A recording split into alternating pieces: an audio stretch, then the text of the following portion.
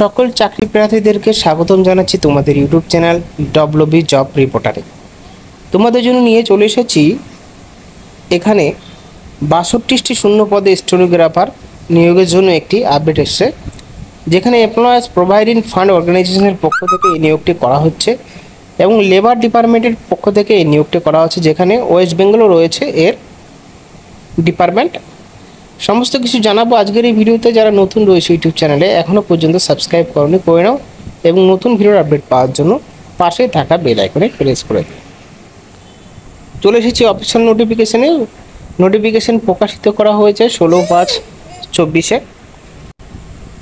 এখানে সাবজেক্ট অনুযায়ী বলা আছে appointment to the post of stenographer direct recruitment in level four বেতন দেওয়া হবে পঁচিশ হাজার থেকে শুরু করে একাশি হাজার টাকা এবং গ্রেড পের সাথে পাবে চব্বিশশো টাকা।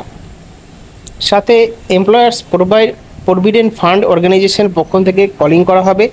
তাদের কিন্তু প্রভিডেন্ট ফান্ড হিসাবেও কিন্তু টাকা দেওয়া হবে পিএফে এই চাকরির জন্য শিক্ষাগত যোগ্যতা এখনও পর্যন্ত কোনো রকমভাবে বলা হয়নি।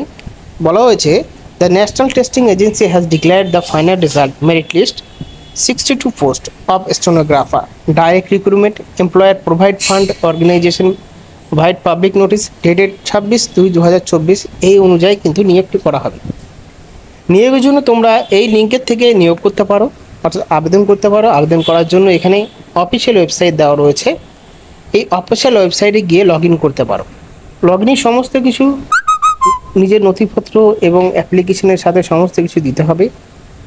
তার মাধ্যমে কিন্তু অ্যাপ্লিকেশনটি পূরণ হবে। এখানে ভ্যাকেন্সি কোথায় কোথায় দেওয়া রয়েছে এখানে দেখতে পাচ্ছ। স্টেটগুলো সবার লাস্টের আগে দেখতে পারবে পাটনার উপরে কলকাতায়। কলকাতায় ভ্যাকেন্সি রয়েছে তিনটি এবং এখানে তিনটেই ভ্যাকেন্সি হিসাবে কিন্তু নিয়োগ করা হবে।